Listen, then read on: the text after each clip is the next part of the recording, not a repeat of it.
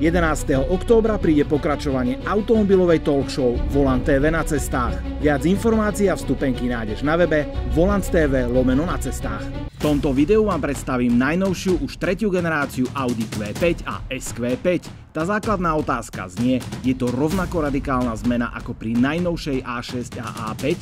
No, pozrite sa. Q5 je pre Audi extrémne dôležitý model. Je to jej bestseller, ktorého sa predá ročne takmer 300 tisíc kusov na celom svete. A tak je úplne jasné, že tá nová už tretia generácia v poradí musí byť ešte lepšia ako tie dve predchádzajúce. No tak sa poďme pekne na ňu pozrieť. Prvá generácia prišla na trh v roku 2008 a vo finále sa jej predalo, a teraz pozor, vyše 1,6 milióna kusov. O niečo neskôr prišla generácia druhá, ktorá ešte stále v tomto momente v predaji a už to prehúpla cez 1,1 milióna kusov. Uvidíme, kde sa to číslo zastaví.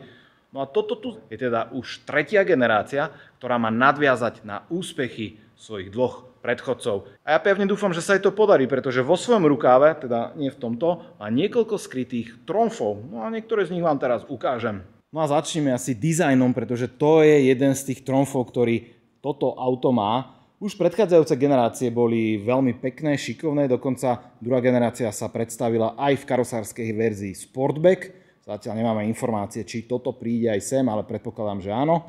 Pred nami je teda spomínaná SQ5, ale nemusíte mať ani vrcholovú verziu, aby ste mohli oceniť napríklad tento dizajn predných svetiel, dizajn zadných svetiel a celkovo Volkswagen Group fičí na vylepšení tých svetelných elementov a to je len dobre, pretože nejde len o dizajn, ale naozaj tá kvalita osvetlenia, či vpredu pred autom alebo za autom, je extrémne vysoká a hlavne prispieva k bezpečnosti na cestách.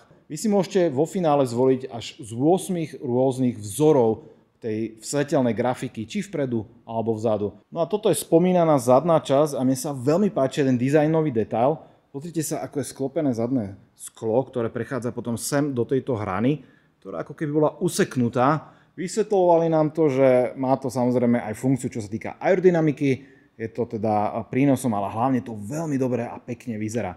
A teraz keď sa pozriete na túto grafiku, čo robia tie svetla, tak oni naozaj žijú svojim životom a veľmi pekne som tu počul názor, že vyzerá to ako taký umelý krp, keď si kúpite, ako taký oheň z diálky. A toto je vlastne jedna z možností, ktorú si tam viete nastaviť.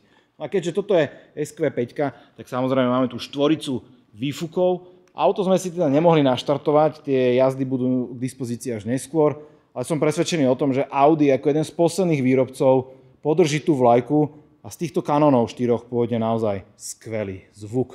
A samozrejme, už musíte zabudnúť na to, že pri akomkoľvek modeli alebo pri akékoľvek verzii Q5 už nebude k dispozícii vôbec manuálna prevodovka.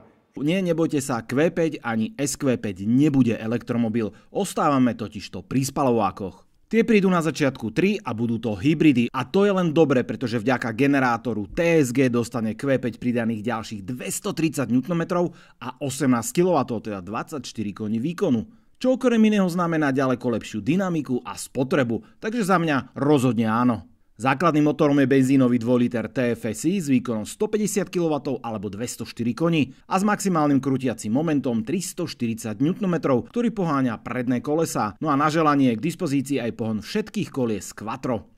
Čo ale samozrejme nesmie chýbať pri Audi Q5, tak to je diesel. V tomto prípade opäť starý známy 2.0 TDI s výkonom 150 kW, teda 204 koní a 400 Nm. Tento motor sa kombinuje výlučne s pohonom všetkých kolies Quattro. No a to najlepšie nakoniec SQ5. Poháňa ho benzínová V6 3.0 TFSI s výkonom 270 kW, čo je takmer 370 koní, presne 367 a 550 Nm. Áno, bude len ako Quattro. Tak ako pri novej A5 a A6 Audi dáva veľmi veľký dôraz na svetla, jednak ich grafika, ale aj najmä viditeľnosť. Tie sa totiž dokážu prispôsobiť rôznym situáciám a reagovať napríklad na krízové momenty. A to aj bez toho, aby vôbec vodič o tom vedel. Napríklad svetlo v zadnom spoileri premieta grafiku na zadné okno a tým zväčšuje plochu brzdového svetla. Máme tu 266 segmentov vzadu a 15 vpredu. Q5 teda mení nielen tvar svetla, ale aj jeho celý pohyb. A aby nová Q5 bola čo najtichšia, tak čo sa aerodynamiky týka, optimalizovalo sa tu krytie podvozku alebo čelná plocha auta. Tu nájdete sériovo dodávané akustické čelné okno alebo za prípadok rovnako ošetrené bočné okná predných dverí. Takže na palube Q5 bude skutočne ticho a pohoda. No ja už som v interiéri, ktorý opäť musím pochváliť a vy ste to už videli pri predstavení novej A6, ten nový dizajnový jazyk, ktorý tu vládne na palubách Audin.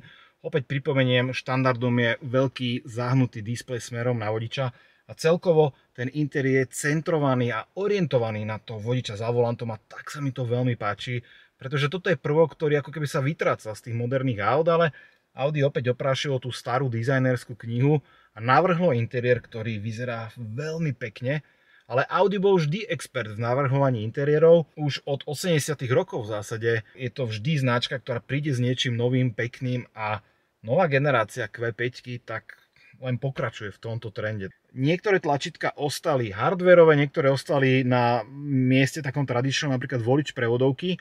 U VW Group je teraz trend presúvať volič prevodovky sem za volant. Mne sa to veľmi páči, tým pádom máte túto voľnejšie, ale keď som sa rozprával s dizajnermi, týchto aut, tak mi potvrdili, že zatiaľ sa to nechystá, pretože Audi si stále drží ten štandard, že volič prevodovky bude túto po pravej strane. Čo ale zmenilo miesto, tak presne ako v A6, ovládanie napríklad sveti alebo nastavovanie sveti alebo sedadiel sa presunulo sem. Sú to také dotykové tlačítka. Má to zmysel v tom, že nemusíte sa nadčovať niekde, kde ani nevidíte poriadne za volant, ale máte tu všetko túto po ruke. A povedal som slovné spojenie dotykové tlačítka No to nie je asi vec, ktorá mňa potešila v tomto prípade, pretože sú aj na volante, sú aj tu. Sú inak robené, sú fyzicky oddelené, ale stále je to jedna veľká plocha. No uvidím, ako sa bude s nimi robiť. Sám som zvedavý, dizajneri mi hovorili, že popracovali na to, malo by to byť ešte lepšie. Tak ja pevne dúfam, že teda majú v tom pravdu. Opäť musím pochváliť aj tú vec, čo sa týka výberu materiálov, tak zrovna v tejto SQ5 je to taký karbonový finish s tou Alcantrou, vyzerá to veľmi pekne a takisto aj tieto S-kové sedačky. Ešte dôležitá informácia, musím spomenúť, že platforma, na ktorej stojí Q5 sa nazýva PPC, existuje v dvoch variantoch, nízka a vysoká sa teda používa aj pri iných autách v rámci Audi. No a keď to sú autá, tak to sa dozviete samozrejme onedlho a vy mi dajte vedieť dolu do komentárov, že ako sa vám vlastne nová Q5 páči. Brali by ste takú tú štandardnú alebo túto SQ5. Moju preferenciu si asi typnete, bral by som túto krásnu modrú. No a už naozaj sa teším na tú prvú živú skúsenosť spoza volantu s týmto autom. A my sa vidíme pri tom videu onedlho. Čaute.